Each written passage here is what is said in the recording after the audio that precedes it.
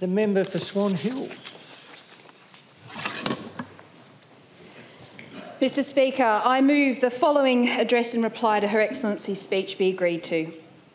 To Her Excellency, the Honourable Kerry Sanderson AC, Governor of the State of Western Australia, may it please Your Excellency, we, the Legislative Assembly of the Parliament of the State of Western Australia, in Parliament assembled, beg to express loyalty to our most gracious Sovereign and to thank Your Excellency for the speech you have been pleased to address to Parliament. Mr Speaker, I wish to express my deep sense of privilege and honour in addressing the House in reply to the Governor's address. I congratulate you on your election to the position of Speaker and wish to also congratulate the Premier and my new colleagues on both sides of the House upon election to their offices. I'd like to acknowledge my family here in the chamber today my mother Tracy, my brother Jordan, and my aunt Michelle and uncle Steve. I'd also like to acknowledge those who in my family who were not able to attend today and just thank them for their unwavering love, support, and encouragement throughout my life, but especially over the last 18 months. I'd like to thank my campaign director, Dave Kelly, for your guidance and my amazing campaign team. You've all become like family to me. I simply could not have done this without you, and particularly my inimitable campaign manager. Uh, your friendship is truly one of the best things to have come out of this I'd also like to express my gratitude for the overwhelming kindness, generosity, and hard work of my volunteers, supporters, and friends who are too numerous to list, but who hopefully know how much I appreciated their help. I also thank my colleagues, the class of 2017, for their camaraderie and friendship. We've shared quite a journey together, and it's an honour to now serve alongside all of you. There are three women in particular I'd also like to thank for their mentorship and guidance Senator Sue Lines, Alannah MacTiernan, and especially my long term friend Lisa Baker.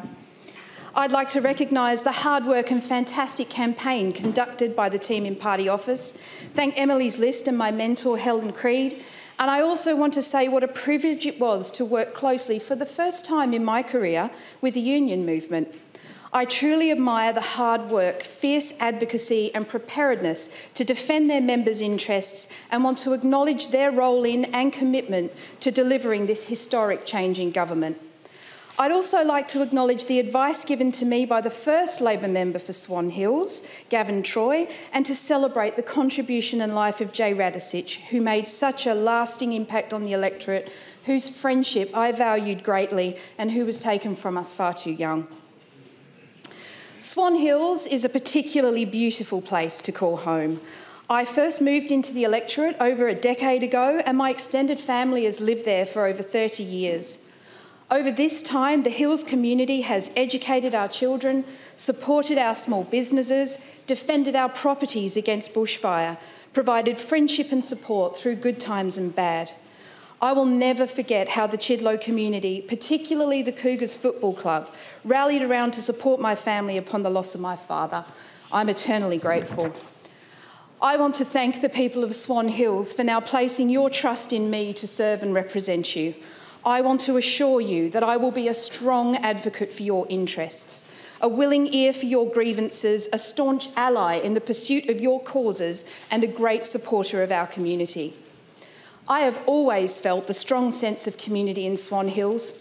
It's been a particularly wonderful part of this whole experience to witness firsthand the work of so many local organisations, the volunteer bushfire brigades who defend our homes and lives every summer, the Progress, resident and ratepayer associations in Chidlow, Bullsbrook, Gidgegannup and Mount Helena that advocate tirelessly for local interests the recreation and sporting groups that are so very often the social heart of our towns, the arts groups that bring vibrancy and creativity into our neighbourhoods, and the social groups for youth, seniors, migrant communities, the men's sheds, the environmental groups, all of whom provide opportunities for friendship and who work so hard to make difference to the lives of their members.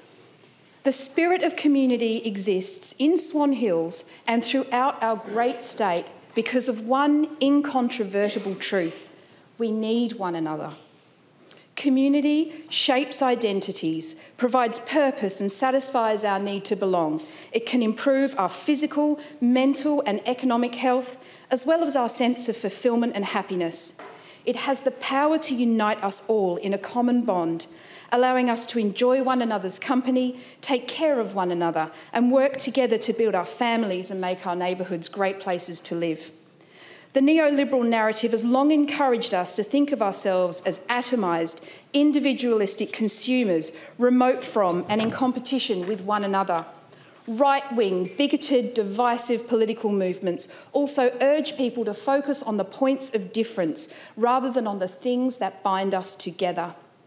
It cannot be a coincidence that with this as our dominant societal narrative, people feel increasingly lonely, disempowered, isolated, and marginalised. It cannot be a coincidence that mental health is increasingly at risk for so many in our community. But it's not natural and it's not inevitable because it's not who we are. The concept of government should be at the very heart of a government's agenda, supporting it, strengthening it, fostering greater understanding, and promoting links between people encouraging tolerance and respect for difference, whilst building mutually reinforcing bonds, developing common spaces, and encouraging collaborative effort to the benefit of all. Labor understands the importance of community. Labor has always fought to sustain communities and ensure that we all share society's collective burdens and benefit from its wealth. Throughout the election campaign, we strove to connect to local communities, to focus on the issues that truly matter to people, to listen to their concerns, and to respond to their needs. In Swan Hills, this meant committing to deliver the train to Ellenbrook and improve transport infrastructure, enhance policing and community safety, ensure WA jobs for WA workers, support and improve bushfire prevention and management, and keep Western Power in public hands. We also made a number of local commitments, recognising that only so much change can be delivered through the hard power of the ballot box. So much more can be delivered through the soft power of individual and community mobilisation. Acknowledging the tireless efforts of our local P&Cs, we have provided grants for shade sails, electronic signs, sporting and musical equipment and playground equipment for schools across the electorate.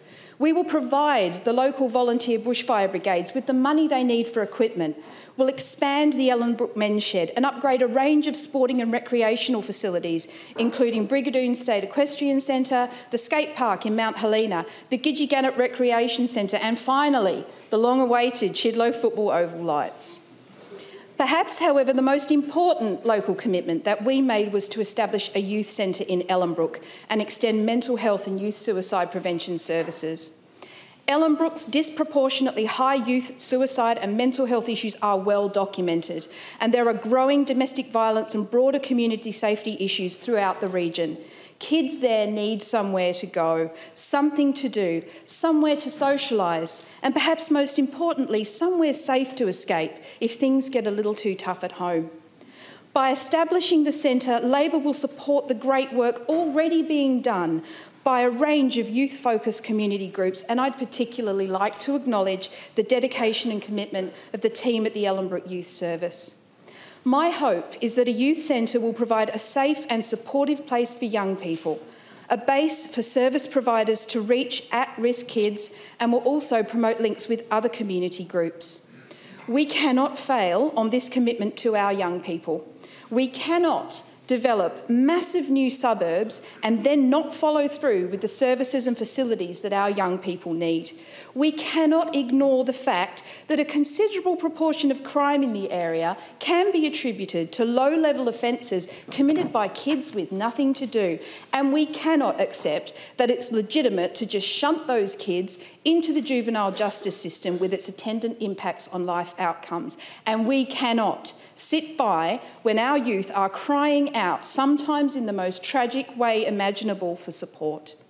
I give my absolute commitment to work alongside the community, both on the delivery of this commitment and to the continued elevation of youth issues in the electorate. Young people's voices are too often unheard, and I will work hard to change that in Swan Hills.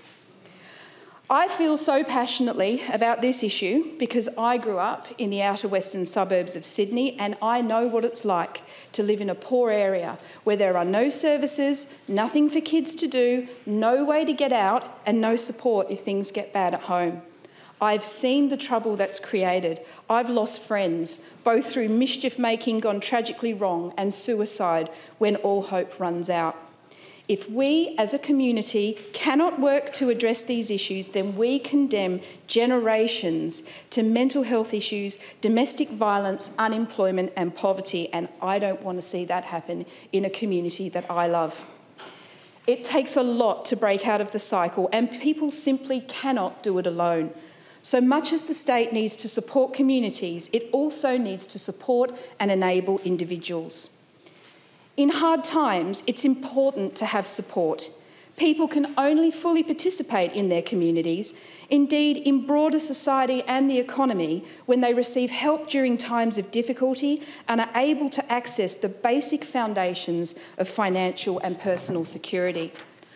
I know this because I have lived this. I am the proud daughter of a bricklayer and was the first person in my family to finish high school. My father was a hard-working man who, despite being exceptionally bright with hopes of a career in marine biology, was regularly unable to attend school on account of the horrific beatings both he and my grandmother received at the hands of his stepfather. When they finally fled and were forced to live in my car, uh, in, in a car, sorry, not in my car, uh, in a car, my dad did as any young man of 14 would. He gave up his dream. He left school to support his mother. My mother also left school at 15 and when my parents married, raised their young family in public housing. We migrated to Australia in 1988 and my parents worked hard to establish a new life for us. And whilst they did their very best for my brother and I, we were far from flush. There were years when we could not afford school uniforms, let alone private schooling, so I attended Picton High School, the local public school. My fantastic teachers poured so much of themselves into my education, often providing additional tuition before and after hours, and I am eternally indebted to Kevin Thomas and Mark Storch for all they did for me. My public school education enabled me to complete three undergraduate degrees at high quality, affordable Australian universities, where my admission was based not on my postcode or my parents' bank account, but on my intellectual capabilities. My public school education paved the way to the University of Cambridge, where I completed my Masters in Law, unlocking a whole world of learning and opportunity. It enabled me to pursue an exciting and fulfilling career, first in international relations and then in the corporate sector. My brother, cousins, and I have all received a public education. We've all gone on to either tertiary study or to acquire TAFE qualifications and trades. Our success is due to the fact that the state invested in us all those years ago. The Labor movement has always fought for high quality public education and training. I can't emphasise how much I believe in its importance and how fiercely I will defend it.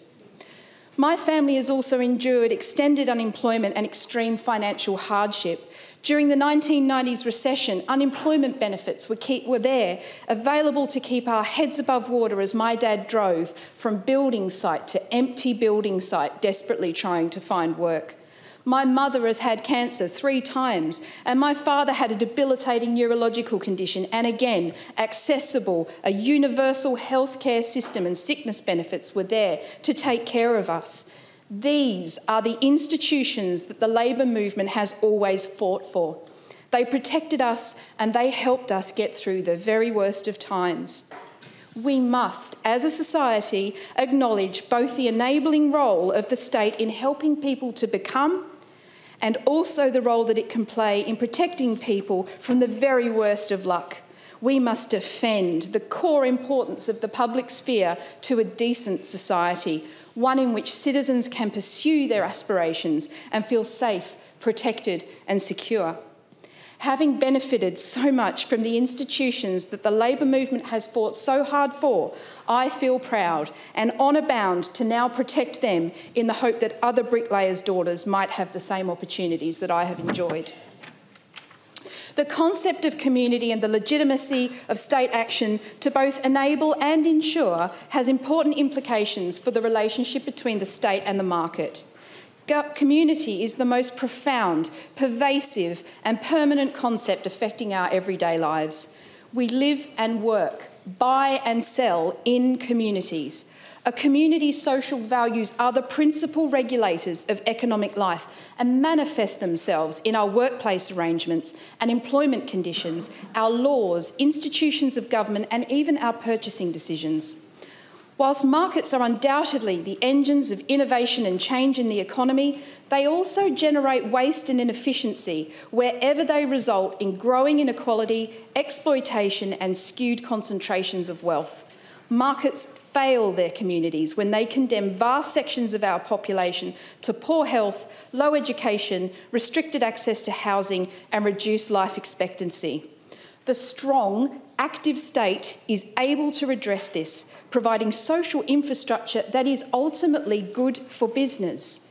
Government investment in education, training, health, social support for the unskilled, excluded, or unemployed are all beneficial for companies, ensuring a skilled, healthy workforce and providing the conditions for a secure and stable business environment.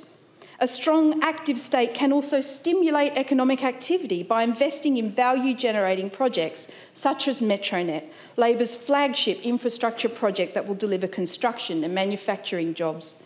The state can assist to diversify our economy and create new commercial opportunities. It can encourage stable, long term investment in modern, productive economic capacity.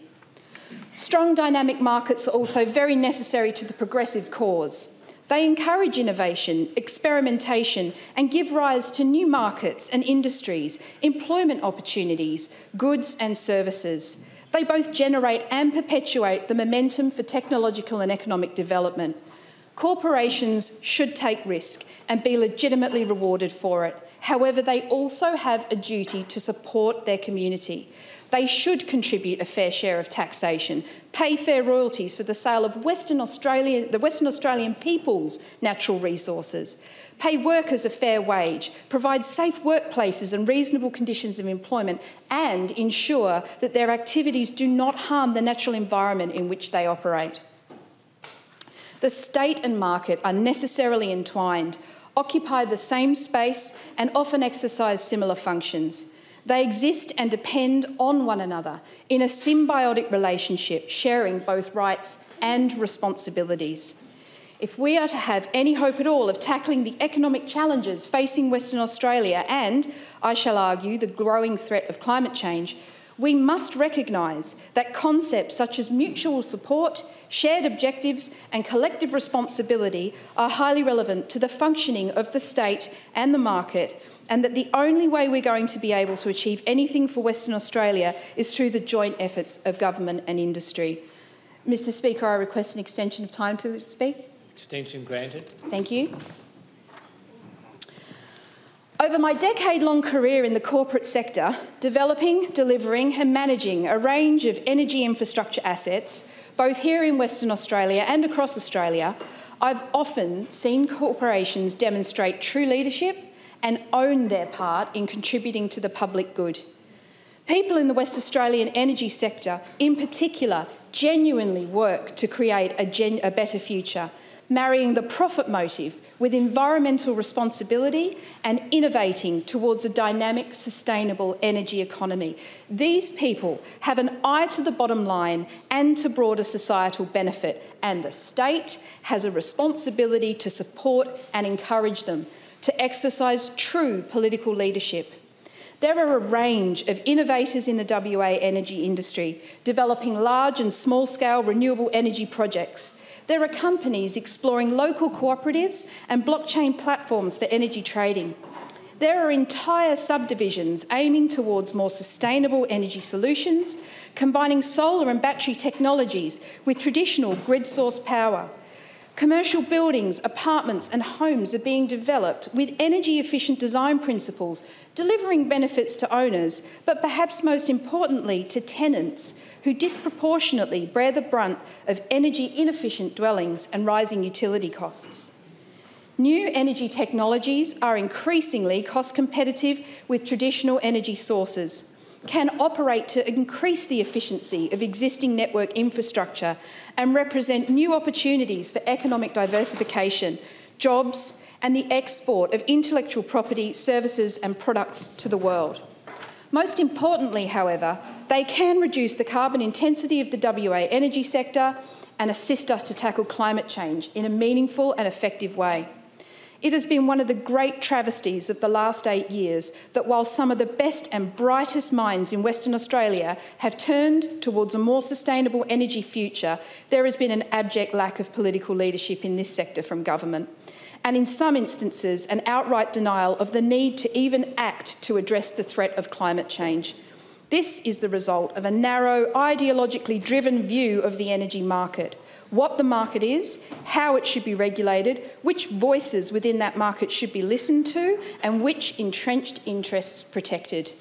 There has been a fixation on protecting an old industry model, thumping great fossil fuel fired thermal generators connected to networks funded by inefficient tariff structures, supplying distant loads, and all based on commercial instruments involving a massive and inappropriate transfer of risk and financial burden onto the people of Western Australia. Kay states that there is a subtle but important distinction between policies that support markets and policies that support the interests of established large firms in these markets. It's a point well made with respect to the energy industry and particularly the state's continued ownership of Western Power. The sale of Western Power would lock in the old industry structure and protect entrenched interests. Retaining Western power in the hands of Western Australians means that we have an opportunity to pursue policies that recognise the importance of traditional energy sources but also support new markets, new industries, new companies, and new jobs. We can now consider and implement policies that encourage market outcomes for the public good more efficient capital investment in the network, a reconceptualisation of value in the network assets, a mix of generation technologies and fuel sources to optimise supply and manage risk, producing natural restraints on costs for consumers and allowing us to mitigate carbon intensity. I believe that Western Australians also care deeply about and are excited by the prospects of the new energy economy People like the idea that they can control their own production and consumption of electricity and they want action on climate change. Labor took the right policy to the state election and secured a resounding mandate for retaining the ownership of Western Power. At this point in the economic cycle, we should not sell Western power. We should use it to assist us to uh, address the economic and climate change uh, challenges that we now face we are presented with a once in a generation opportunity to invest in the new economy and promote advanced manufacturing right here in Western Australia. We can leverage our core strengths, our world class education system, our skilled but increasingly underemployed workforce, and our abundant natural renewable resources. The community wants action on climate change, and WA industry stands ready to contribute in new and exciting ways. If we think in terms of the holy trinity of community, market, and the state working together to advance shared objectives and common goals, it is time that a government stepped up. Labor accepts the science, the reality, the fact of climate change and its anthropogenic causes. We know it is changing our landscapes, affecting agricultural production, decimating species, destroying communities, and damaging human health we have an economic imperative and a moral duty towards future generations to act. The left humanised capitalism in the last century. Labor championed decent public housing, universal healthcare, access to public education, and a minimum wage and working conditions and universal suffrage. It's important that we continue in this Parliament to defend those things. But as Giddens has argues, argued, a progressive government's duty is now to green the 21st century, address climate change, and develop policies that better align market outcomes with the public good. We should have faith in the Western Australian industry's ability to innovate and address climate change.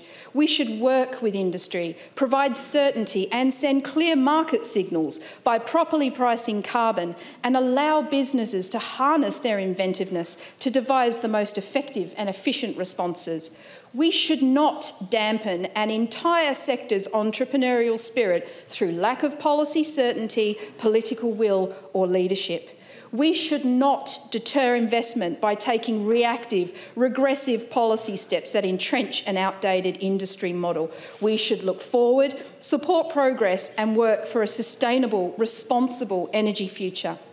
Labor has an innovative, progressive agenda, a team with open minds, minds turned to the industries of the future, not mired in the past. We have an economic agenda founded in compassion, with equality, community, and solidarity at its very heart. We believe in rewarding drive and innovation, but also in respecting the core dignity and value of each and every one of our citizens and enabling them to pursue their aspirations and realise their potential regardless of gender, race, religion, birthplace, or wealth. We all have a shared responsibility to achieve greater social justice and exercise common responsibility for the common good. We must work together. And for my part, I will support my local community in Swan Hills, continue to work with industry, and I now look forward to being part of a McGowan Labor government that will deliver true leadership and progressive governance for all Western Australians now and into the future.